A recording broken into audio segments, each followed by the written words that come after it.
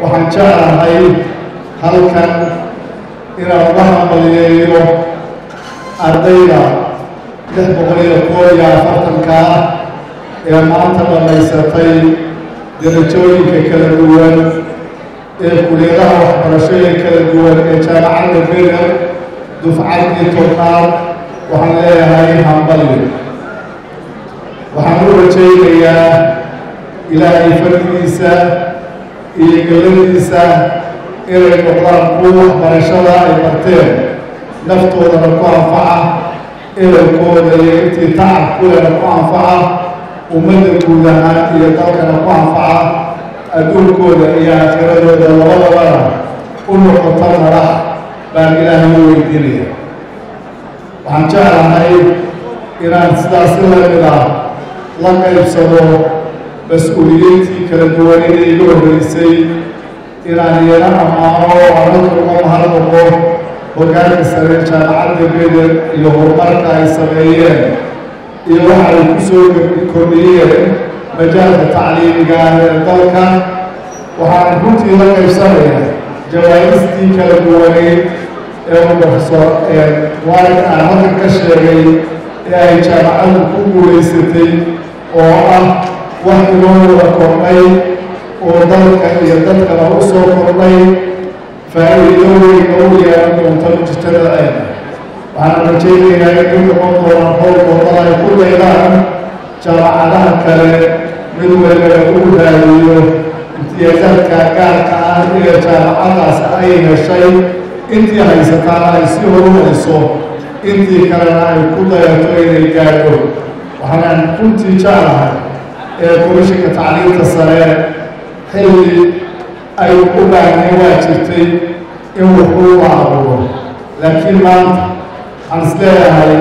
waxay u baahan tahay xilligii la qiimayn lahaa ee dib loo qiimayn lahaa hay'adaha tacliimiga ee dalka ka jira ee sare waa la gaaray in komishinku tallaabooyin ad adag uu qaato oo u dib u qiimeeyo waxbarashadeeda u qiimeeyo ayaa aad iyo aad aad kula dardaarmaya waxaan kula dardaarmayaa intaan ka xumaystay oo loo xusay inkastoo xubno xukuumadda ka joogaan in wasaaradda waxbarashada iyo tacliinta iyo halkan ka joogin ayna tahay waajib in lagu dhiirigeliyo daayarteena iyo dhallinyaradeenna maalmaha gaarka iyo munaasabadaha khaaska ah ay leeyihiin in iyaguna ay ku dadaalaan lagula wada dadaalo dowlad shacaba in majaalka tacliimiga loo qorsheeyo waxa ugu badan ee aynu haysano ama aynu heli karayno aynu ku dadaalo waxbarashadeeda asaasiga inay hesho oo ardaydu ay hesho ay lacag la'aan ku hesho haddayna awoodi karno haddayna awoodi karin intii aynu kari karno ilaa aynu gudubno ilaa heerka sare ee waxbarashada sare inaynu bilaash aynu ku helo waxaa runtii ah aan uga warhaya sidii hadda shimxaan cali geediye sheegaye ihtimaamka aynu siinaa guud ahaan uma leeyahay waxaan xilliyada xukuumadda ka tirsanaa u jiray xilliyada bashadka la samaynayo in hay'adaha caalamiga innaga ay lagu dabqiyi jireen. Inta aad u qorshaysaan ee bajada waxbarashadiina wax u dhigma baalnamo weydi kudhay inay nolol wataan shisheeye tacliinteenna iyo horumarkeenna nuqsaanayna u wada tahay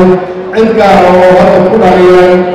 ee mid jooga iyo mid tagay kooni ma jirteen waa mas'uuliyad aynu rabno inaynu wada qaadano oo ah mas'uuliyad wadale waxaan rajaynayaa insha allahu tacaala inaynu noqono qaran guulaysta waxaanu ku horumaraynaana ay noqoto aqoon wadata akhlaaqdii iyo qiyamkii iyo dhaqankii aynu lahayd kana tarjumaysa waaqac aynu ku noolahay aad iyo aad baad mahadsantihiin salaamu allahu calaykum waraxmatu barakaatu